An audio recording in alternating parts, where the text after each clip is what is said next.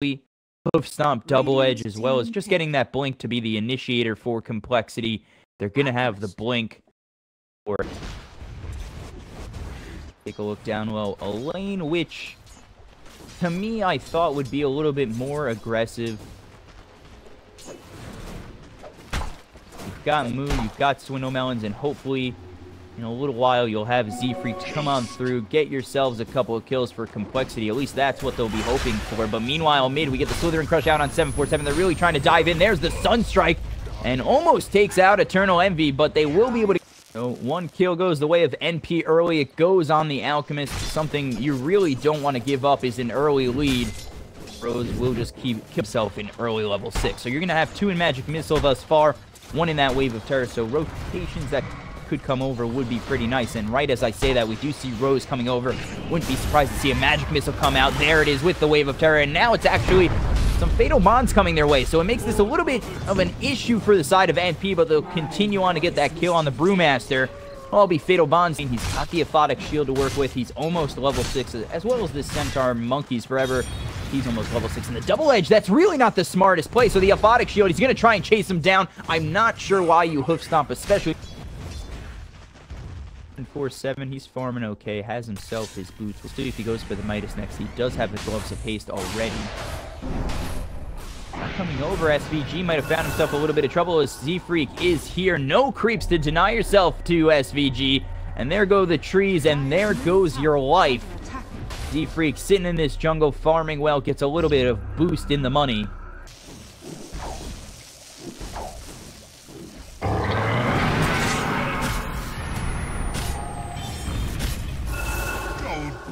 Out of my misery yet.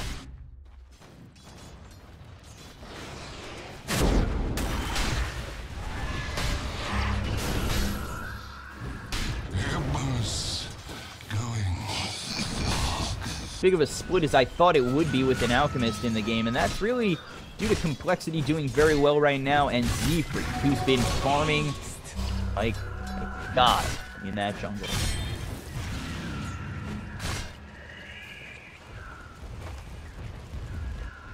Actually coming over is AUI looking for a kill. The Magic Missile comes out on Mountains. He's going to find himself in a whole bunch of trouble. The Aphotic Shield is popped. And there with the Wave of out on 747. Z-Freak still farming very well. He's got a Midas of his own.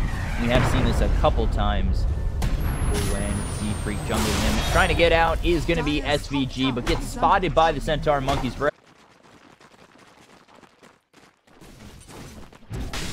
Radiant's courier. Radiance 250 health, still trying to run away. He's going to use that one to keep himself up. They get another stun out on him, but AY still alive. The primal split is no more.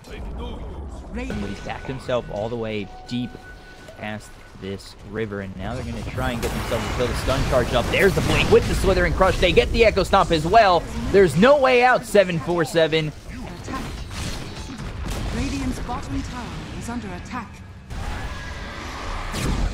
Monkeys, he might find himself in a little bit of trouble. He's forced to use that ulti, now trying to get away, but the swap is there as well as the magic missile. They're going to get the chaotic offering out on three, but that's not going to keep him alive. And now blinking in his move, trying to get a good thunderclap. He doesn't have his ulti. He doesn't have enough mana for it anyway, and no black hole. Of course, as is tradition, and very low. He is going to be spotted under this ward. There's the Sunstrike right on the money! And that ward vision there. Complexity, they continue to keep pressure on this mid-tier one. Echo Stomp comes through on a couple. Earth Splitter getting thrown on through. There's the Slithereen Crush. Earth Splitter. And now the double edge from Monkeys trying to make something happen on the turnaround. They will get a kill on Rose, but they lose Z-Freak. Really the big team fighter for their side on Complexity. And the swap comes back from 747 coming in with the Thunderclap as well as the Primal Split is going to be moved, trying to make something happen as we do see this Elder Titan getting very low. The double edge comes on through. He's going to be dead. Three are now gone for Complexity while two have fallen for NP. Freaky get spotted out here. AUI Smoke is gonna break. The Freak does back off, but Complexity, they might be looking to fight. There's the Wave of Terror. That's going to hit on three. Now the Magic Missile follows it up. Rose with a great blink into a Slithereen Crush. There's the stun coming through from the Alchemist. They get one kill. They get another one on Swindle Melons. Move's going to be the next one to fall. This game is looking... Yet, but they over by this shrine. They do spot Eternal Envy TPing over his MSS. They're trying to get that stun going, and there's the dominated creep getting the stun out on Z-Freak. And with that, they'll bring him down once again. So they're going to have to use the Stampede for their retreat. And Complexity, while trying to be aggressive once more, it fails and blows up in their face again. We take a look over up top, 747. He'll be the next victim of this entire...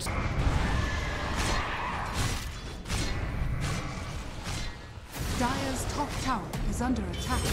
Actually, mid, we do see Eternal in a bit of trouble as well as Rose. Rose is getting very low, and they will find themselves a kill as the Primal Split is used. Monkeys Forever is going to not survive as the Radiance Burn is there and enough. A nice Echo Stomp, not find enough. He'll be stunned up as well. AUI is here. There's the Wave of Terror. Moo in between the entire side of NP the tier 2 bottom. The tier 3, it's not looking any better for him. The cliff is only going to extend the inevitable. There comes the tornado with the EMP. MSS in a bit of trouble. Gets a little bit of a mini stun out from the Enigma, so they need to make sure they're okay. There's the Chaotic Offering coming out on three. The Fatal Bonds is there as well as the Black Hole. It's going to be enough to possibly bring down a couple, but there's the Earth Splitter. That'll stop Z-Freak from really doing too much. They end up bringing down Eternal Envy, and now there's the Blink with the Slithereen Crush, but Rose, he's put himself in really just harm's way as he will be the next one to fall on NP after the Aphotic Shield is popped. So 747 gets a double kill. It's a nice black hole as well as a chaotic offering. But now what do you do? You don't have the chaotic offering. You don't have the black hole. Now you don't have an enigma.